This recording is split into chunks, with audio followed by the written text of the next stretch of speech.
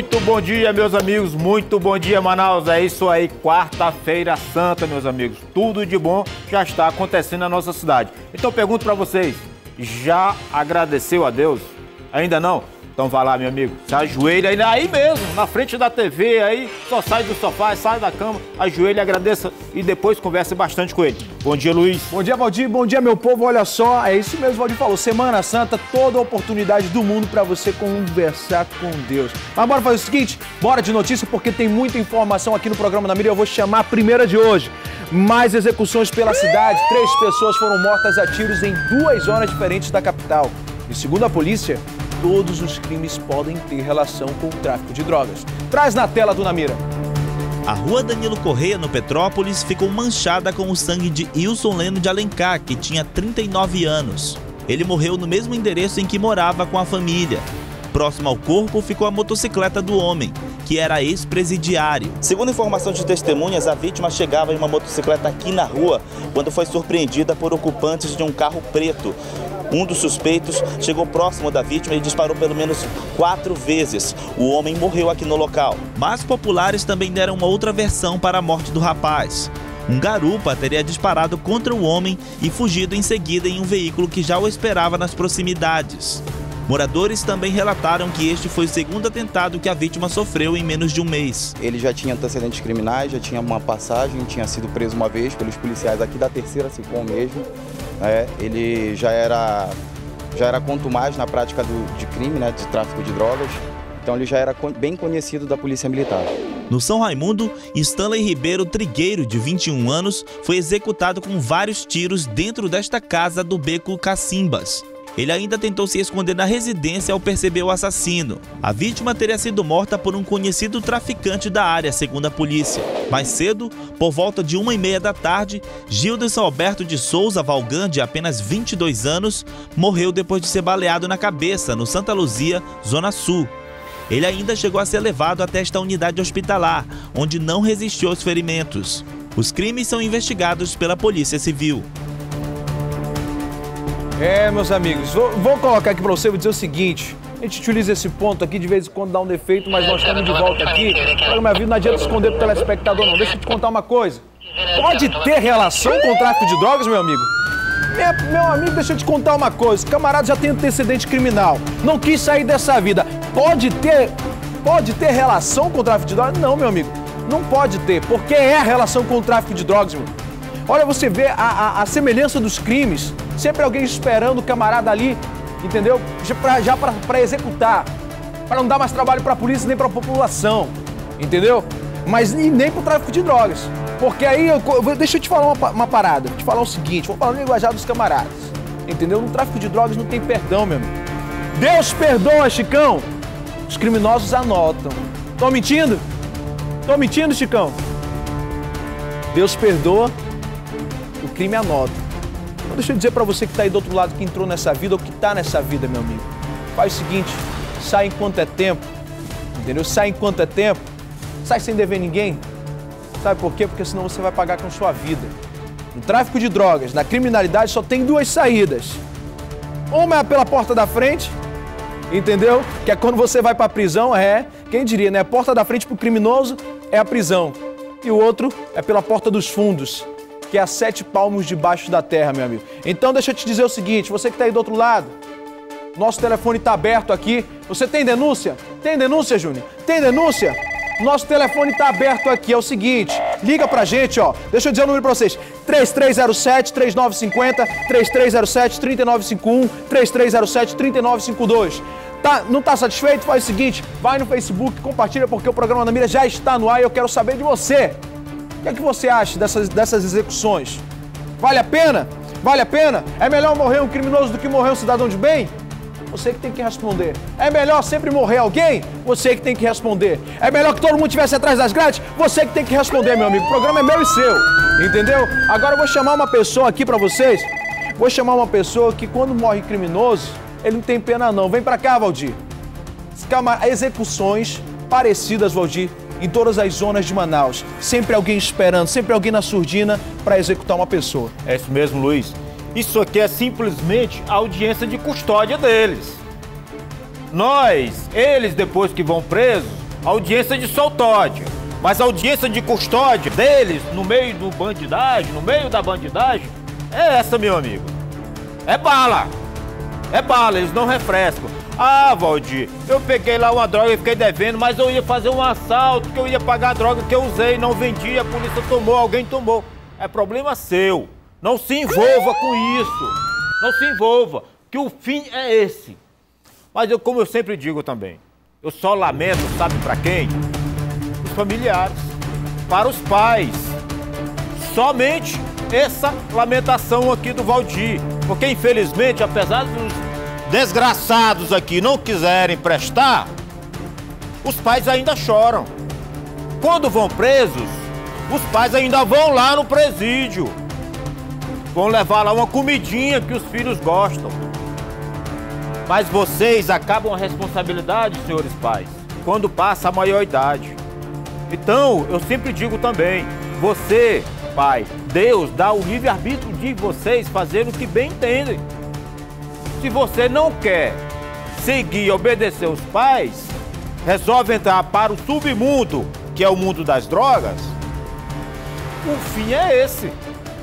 É lamentavelmente, mas o fim é esse. Então reflitam. Você vai sair, está pensando em sair de casa para assaltar hoje? Você está negociando droga ainda hoje? Saiba que o teu fim vai ser esse. E o Valdir aqui não tem dó de ti, não. Não tenho.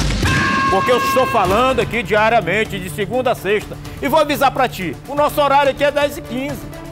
É 10 e 15. Se você não quer que o Valdir mostre aqui você deitadinho assim, saia o quanto antes, meu amigo. Saia o quanto antes. Para que se você não saiba que os teus pais, saiba não, né? Que tu já foi morto, tu não vai saber mesmo. Mas para que a tua família não sofra. O que a família desses aqui estão sofrendo. Ah, tem vários marginais, Valdir tem vários marginais que precisam é, de acolhimento, precisam de alguém, alguém bom para que pegam ele, para que peguem eles e levem para uma casa de recuperação. Mas você tem que dar o primeiro passo. Você tem que querer. É difícil? Eu imagino que seja. Eu nunca usei essas porcarias. Mas eu acredito que seja. Qualquer vício, é, tem, você tem uma, uma certa dificuldade para sair dele. Mas você tem que dar o primeiro passo. 10 e 25 agora vamos para uma apreensão de drogas em embarcação na Orla de Manaus. Dessa vez, a Polícia Civil com a Receita Federal apreenderam 20 quilos de maconha do tipo skunk. Alex Costa que vai colocar pra gente essa história. Isso mesmo, foram aproximadamente 20 quilos de maconha tipo skunk que estavam escondidas dentro de uma embarcação aqui na orla de Manaus. Esse barco havia acabado de atracar numa praia do centro e vinha de Tefé, município que fica a aproximadamente 523 quilômetros em linha reta aqui da capital. Como você vê aí nas imagens, a droga estava escondida dentro de sacos de farinha e foram encontradas com a ajuda de cães farejadores. Os policiais chegaram à informação da existência dessa droga por meio de investigações que foram realizadas pela Delegacia Especializada de Narcóticos. A droga tinha como destino a capital amazonense e seria comercializada em bairros nas proximidades do local onde o barco estava atracado. Até o momento, ninguém foi preso. É isso aí. Até o momento ninguém foi preso, mas graças a uma denúncia anônima. Essa é a importância que a gente sempre ressalva aqui a importância da sua denúncia anônima. E graças à polícia foi lá conferir, juntamente com a Receita Federal. E vamos parabenizar o cão também, né, meu amigo? O cão que é amigo do homem, mas amigo do homem de bem. Ele não aparece aqui nas imagens, mas foi ele quem encontrou a droga. Foi ele quem deu o primeiro passo. Foi ele que deu o primeiro chá, cheiro. Então, ele não cheira só pra inalar, não. Ele cheira pra denunciar. Esse é o verdadeiro cheiro do cão. Não é o esses abestados aí que fica cheirando. E eu canto aquela música do. Ele cantou brega, que já morreu. Reginaldo Rossi. Meu amigo, vai cheirar outra coisa, eu não posso falar aqui no ar. Mas droga? Não, meu parceiro, não. Então, graças ao cão, Luiz, 20 quilos de maconha, 20 quilos de cocaína, de maconha, tudo quanto é tipo de droga, nesse caso aí, esse canto, foram apreendidas. É, sempre diga que é mais uma facada nessas facções, nessas malditas facções que insistem em negociar essa porcaria aqui na nossa cidade, essa porcaria aqui no nosso estado. mas é 20 quilos a menos aqui. Eu quero depois aí que me passe um valor aí, que deve ser na média de quase 300 mil reais. É isso mesmo, Valdir. Ô, oh, meu povo de Tefé! Tá aparecendo aqui na tela da TV em tempo desse jeito, minha gente. Aí não dá. A farinha eu sei que é boa. A farinha ovinha de tefé eu sei que é boa. Agora a droga, meu amigo, aí eu já não sei não. Menos 20 quilos que iriam abastecer as bocas aqui de Manaus, menos 20 quilos que poderiam estar em direção à nossa juventude, às nossas crianças. Belíssimo trabalho aí da polícia que conseguiu por meio de denúncia. Sabe? Eu tô falando de denúncia, sabe por quê? Porque você aí de casa entendeu? Você aí de casa precisa participar, precisa meter a boca no trambone. Aqui o espaço do programa na mira é para você, morador, você cidadão, como essa moradora que está aqui por, comigo por telefone, que não vai se identificar, mas vai falar o que está acontecendo lá no bairro dela. Alô, bom dia! Bom dia, querido. Bom dia, meu amigo. Faz o seguinte, meta a boca no trambone, fala aquilo que está acontecendo aí próximo à sua casa, queridão. Rapaz, é, é, é uma parada, tá, tá, tá escura de noite e de noite tá roubando aqui de novo. Começaram a roubar aqui de novo aqui o celular e, e, e tiroteio pra todo lado aqui, Luiz. E tem o Facebook. Qual é a rua? Tem o Facebook, tem um rapaz que tá roubando aqui nossa área. Qual é a rua, Varo? É aqui na rua, é a Avenida Brasil. Avenida Brasil. Compensa, né, meu amigo? Isso. Segunda-feira conversei com o secretário de Segurança Pública. Operações vão ser intensificadas no bairro da Compensa, meu amigo. Fique tranquilo, quero agradecer sua audiência, você da Compensa. Tá me ouvindo? Você da Compensa? Você da Compensa? Você da Compensa? Você da Compensa? Olha só, tem que me pegar, tem que pegar aqui, ó. Você da Compensa, seguinte, meu amigo. Você é traficante. As operações vão ser intensificadas aí, meu amigo. Eu tenho uma notícia para te dar. Sai daí enquanto é tempo. E olha só, para você traficante que fica usando as câmeras de segurança, tá instalando câmera de segurança espalhada pela compensa para fazer com que a polícia chegue aí na sua casa e você já tenha capado o gato, meu amigo? Ah, meu amigo, você vai ajudar a nossa secretaria, sabe por quê? Porque a secretaria está pegando acesso de todas as câmeras de Manaus, do sistema de segurança de Manaus, para poder ajudar em operações que se intensificarão nesse segundo semestre. Então, digo uma coisa para você, traficante. Vá se esconder em outro lugar. Foge quanto é tempo. Porque quando baterem na tua porta, não vai ser coelhinho da Páscoa e nem Papai Noel, não. O teu presente vai ser uma algema e uma cela para você, tá, meu amigo? É isso que vai acontecer com você. E eu não digo só compensa, mas eu digo vocês que estão trabalhando com o tráfico de drogas em Manaus, mas isso não é nem trabalho, né? Isso é uma maldição. Você que está amaldiçoado aí com essa situação da droga, meu amigo, foge quanto é tempo, porque o teu, teu futuro é dois lugares, como eu já disse. Ou é cela, ou é aqui embaixo. Denúncia? Vamos. Entendi. Meu, olha só, minha gente. Não tá travado aqui, não travou seu sistema, não, meu amigo. É eu que tô ouvindo minha diretora aqui no fone, aqui no ponto. Olha só. E na tarde de ontem, mais uma execução, dessa vez no Morro da Liberdade. Ai, minha gente. Calma aí, meu povo. Vamos rebobinar aqui o negócio. Não é o que tá aqui na tela, não. Vem cá, Júnior. Não é o que tá aqui no TP, não, minha gente. Eu vou chamar uma ligação. Vem cá. Vem cá, vem cá, Júnior, deixa eu te mostrar aqui na câmera. Esse daqui é o Júnior, minha gente. Esse daqui tá comigo, ó. Nós vamos para uma ligação agora, denúncia anônima. Posso atender? Alô, bom dia. Bom dia. Bom dia, meu amigo. Você é, viu aí que eu... Deixa eu lhe contar um negócio. Você viu que o negócio é, é, é, é, tenso, né? Porque quase travou aqui. Mas você já tá no ar, meu amigo. Meta a boca no trombone aí. Sou TFense tem muita vergonha do que está acontecendo de droga, que está acontecendo na cidade. Mas eu gostaria de dizer minha indignação aqui, que porque essa porcaria nunca vai acabar de chegar droga no município de Manaus, porque enquanto a polícia estiver envolvida no meio, isso nunca vai acabar. Eu vim de TSG porque a criminalidade está grande, mas quando a polícia estiver envolvida, de vez em quando volto lá, porque tem, tem casa lá e a polícia é envolvida nisso, meu amigo. Não vai ter como acabar pessoas que a gente pensa que é de nome, mas não vai acabar isso não, meu amigo. Eu fico com indignação. Pepe tem pessoas boas, maravilhosas. A, a farinha é uma coisa maravilhosa, mas quando tiver polícia envolvida no meio, isso não vai acabar. A facilidade é grande, meu amigo. E fica minha indignação. Quanto a corregedoria não tomar providência, isso não vai acabar nunca. Era isso a minha indignação de falar. tráfico de droga que vem de, de, de Manaus para Tefé. Obrigado aí, meu amigo, pela sua audiência. Olha só, gente. Olha, o conterrâneo de Tefé, minha gente. A gente sabe que os municípios sofrem essa dificuldade por conta do efetivo, né? E muitos dos, muitos dos policiais, na verdade, muitos não, muitos não, mas aqueles podres que estão dentro da corporação acabam se vendendo porque o dinheiro, ó, fala mais alto, meu amigo. Fala mais alto. Mas olha só, nós vamos para uma outra notícia. E na tarde de ontem, mais uma execução, dessa vez no Morro da Liberdade. A Bárbara Mitoso acompanhou os detalhes dessa notícia aí e vai contar pra gente na tela do Namira. Foi por volta das duas horas da tarde que populares aqui do Prosami, no Morro da Liberdade, zona centro-sul da capital, ouviram alguns gritos e cerca de seis disparos de arma de fogo. Então, resolveram chamar a polícia.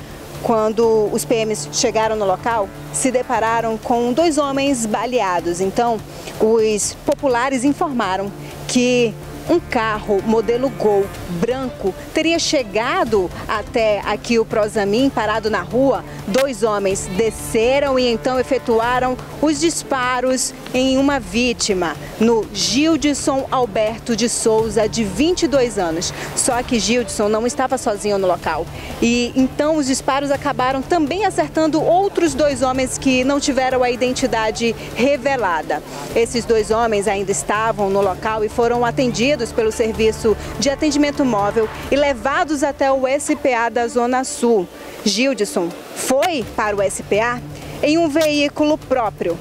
E, mas quando chegou no SPA, ele já chegou sem vida, ele não resistiu aos ferimentos.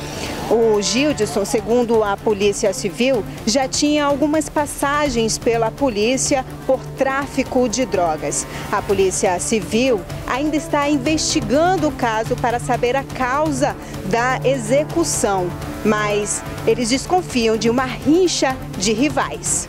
Volto com você no estúdio. Obrigado aí, Bárbara Mitoso. É engraçado, né, que toda vez que morre um bandido, é, é sempre a mesma coisa já, já tinha várias passagens. Já tinha várias passagens. Né? O camarada nem viaja, mas é cheio de passagem, meu amigo. Pelo amor de Deus, é isso que acontece. É isso que acontece. Está envolvido com coisa errada, já tinha várias passagens, entendeu? Eu não, eu não entendo isso. Eu não entendo, Valdir. Eu não entendo. Deixa eu, te, deixa eu chamar o Valdir aqui. Alô, Valdir? Vamos lá, mano. Deixa eu te dizer uma coisa. Eu não entendo essa situação. Os camaradas, várias passagens. É incrível como a polícia às vezes quando entra em confronto, às vezes acaba matando ou prende, né? Sempre que, que o, a Polícia Civil vai lá checar o nome do camarada, existem várias passagens. É incrível é. como isso acontece, Valdir. E quando, e quando morre, Luiz, eu fico muito triste. Tem uma música aí? Tem? Tem uma música aí? Tem música aí, produção? Produção, tem música aí? fico muito triste, meu amigo. Muito triste quando morre um vagabundo desse. Agora aproveitar por falar em vagabundo, por falar em vagabundo, quero pedir aí aos moradores da Compensa. Lembram-se do na Índia, o traficante que comanda a área da Compensa, que a mulher dele foi presa essa semana? Queremos detalhes dele aqui. Queremos saber onde ele está. Ligue anônimo pra gente aqui. Nós queremos denunciar esse vagabundo na Índia, eu vou te mostrar a tua cara aqui. Nem que seja desse jeito aqui. Toda vermelha, vagabundo. Porque tu intimida aí moradores de bem que não tem como se defender. Mas homem de verdade tu não intimida. Sai da frente, chama outra matéria. Tem break? Então vai já vir vai vir o intervalo, mas antes do intervalo quero dizer o seguinte, prepare-se tem um menino de 13 anos que foi executado com um tiro na cabeça. Já já, volta com essa matéria.